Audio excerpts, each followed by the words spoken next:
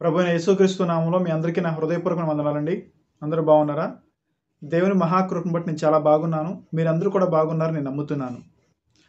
Friends ఉత్తరప్రదేశ్లో మరొక దారుణం జరిగింది. ఇంతకుముందు ఉత్తరప్రదేశ్లో ఏం జరిగిందో మనందరికీ తెలిసిందే. దాని విషయంలో గవర్నమెంట్ ఎటువంటి విధానాలు అవలంబించిందో కూడా మనకు తెలుసు. మరొక వ్యక్తి మీద అత్యాచారం జరిగింది. ఒక మైనర్ బాలిక మీద ఆరు సంవత్సరాలు పాప మీద అత్యాచారం జరిగింది. భారతదేశంలో ప్రతి చోట కూడా ప్రతి రాష్ట్రంలో కూడా ఏదో విధంగా జరుగుతూనే ఉన్నాయి. అది కేవలము ఆ రాష్ట్ర ప్రభుత్వాల్లో మీదే ఆధారపడి ఉందని కూడా మనం చెప్పలేని పరిస్థితి ఇప్పుడు. అయితే మరి ఇది ఏ విధంగా ఇది ఏ కోణంలో మాట్లాడుతున్నాను అంటే ధర్మాన్ని మేము కాపాడుతున్నాము అని చెప్పుకుంటూ ధర్మ పరిరక్షకులం మేము అని చెప్పేసి వాళ్ళ యొక్క కాషాయపు జెండాను ఎగరేసుకుంటూ విపరీతంగా ప్రచారాలు చేసేవాళ్ళు. మరి ముఖ్యంగా క్రైస్తవుల మీద ఇతర మైనారిటీ యొక్క ప్రజల మీద వారు దౌర్జన్యాలు చేస్తూ దాడులు చేస్తూ మా మతమే గొప్పది మా ధర్మమే గొప్పది అని విస్తృతంగా ప్రచారాలు చేసుకునే ఒక మతోన్మాదపు బ్యాచ్ కొంతమంది ఉన్నారు.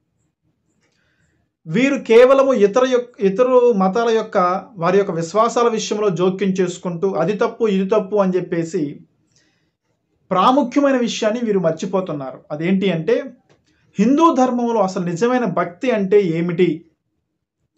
మూఢనమ్మకాలు మూఢభక్తిని చేస్తూ మూర్ఖులుగా ఉండిపోతున్న ప్రజల్ని వీరు ఏ విధంగా బాగు చేస్తారు లేకపోతే వారికి ఏ విధంగా జ్ఞానోపదేశం చేస్తారనేది మనకి ఎక్కడా కూడా కనిపించదు.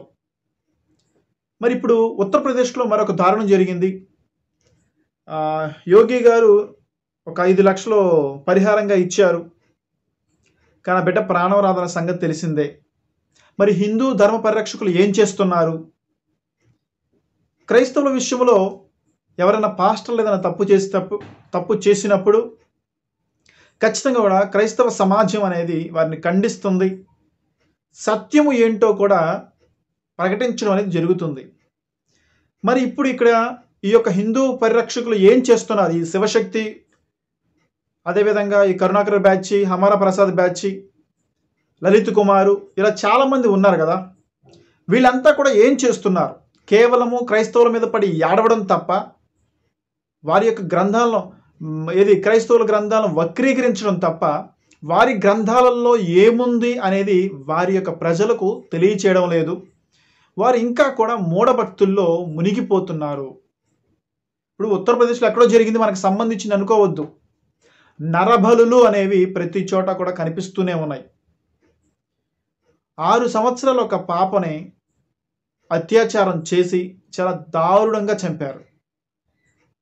అసలు కారణం ఏంటి అంటే పరశురామ్ అనే వ్యక్తి తనకి పిల్లలు కలగడం లేదని చెప్పేసి తన స్నేహితులు ఇద్దరికి ఒకడికి వెయ్యి రూపాయలు మరొకటికి ఐదు వందలు ఇచ్చి నరబలి కోసము ఏర్పాట్లు చేయమని చెప్పినప్పుడు ఇద్దరు వ్యక్తులు కుర్లీ బెరిన్ అనే ఇద్దరు వ్యక్తులు ఒక చిన్న పాప టపాకాయలు కొనిస్తామని చెప్పేసి దీపావళి రోజున టపాకాయలు కొనిస్తామని చెప్పి తీసుకువెళ్ళి ఆ పిల్ల మీద అత్యాచారం చేశారు.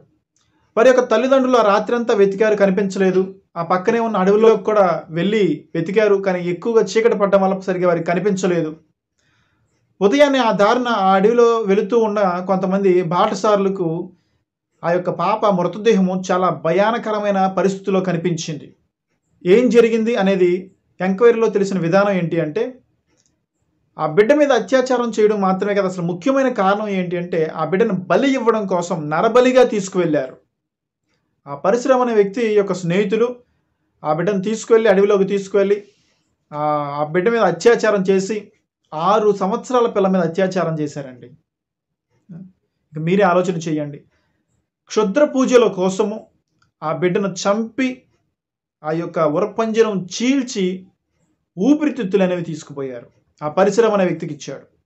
వాడికి పిల్లలు కలగడం కోసం ఆ ఊపిరితిత్తుల్ని మరి వాళ్ళు భార్యాభర్తలు ఇరువు కూడా ఇరువురు కూడా అనుకొని తిన్నట్టు మరొక పేపర్లో నేను చదివాను. సో అది తింటే ఒక నరబలి చేస్తే కానీ ఆ యొక్క క్షుద్ర దేవతలు అనేవాళ్ళు కరు కరుణించరా? ఈ దేవతలు అనేవాళ్ళు మంచి కోసం ఒకళ్ళు చెడు కోసం ఒకళ్ళు. వీళ్ళంతా కూడా దేవుళ్ళుగా భావించే వాళ్ళేగా వీళ్ళంతా? వీళ్ళ దేవుళ్ళు కోరుకునేది నరబలులా? వీళ్ళ దేవుళ్ళు ఇదే ఇష్టపడుతున్నారా? నరబలి ఇవ్వకపోతే పిల్లలు కలగరా? మరి ఇటువంటి భయంకరమైన మూఢనమ్మకాలను అనేక ప్రజలు కలిగి ఉన్నప్పుడు ఇటువంటి వాటిలోంచి బయటకు తీసుకురావడం లేదేంటి? ఈ మతోన్మాద యొక్క సంస్థలు ఏం చేస్తున్నాయి? వాళ్ళ మీద వీళ్ళ మీద పడి ఏడవడం తప్ప వచ్చిన డబ్బులు దండుకొని తినటం తప్ప పంచుకోవడం తప్ప ఇటువంటి ముఖ్యమైన కార్యక్రమాలు చేయరే?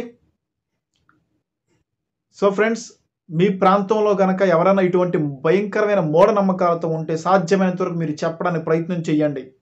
మితిమీరిన చేష్టలు కనుక ఎవడైనా కనుక చేస్తే వాడి మీద కేసు పెట్టమని చెప్తున్నాను. ఆరు సంవత్సరాల పిల్ల మరలా తిరిగి రాదు. వాడి యొక్క భక్తి ఏంటి ఆ భక్తి?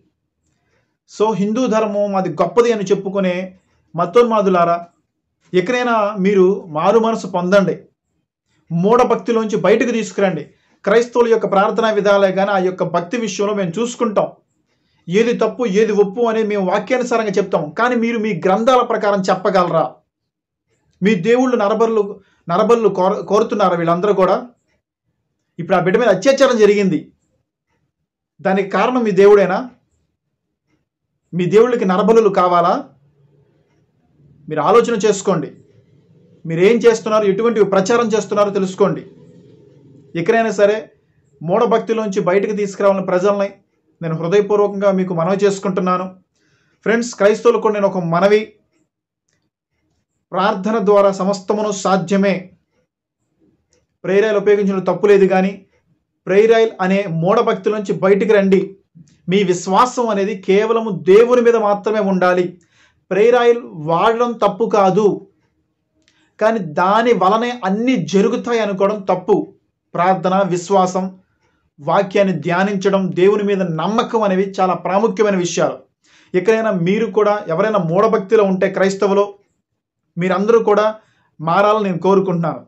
మీకు ఏదైనా సందేహాలు ఉన్న క్రైస్తవ విషయంలో నన్ను ఖచ్చితంగా మీరు ప్రశ్నించవచ్చు ఖచ్చితంగా వాక్యానుసారమైన జవాబు నేను మీ అందరికీ ఇస్తాను.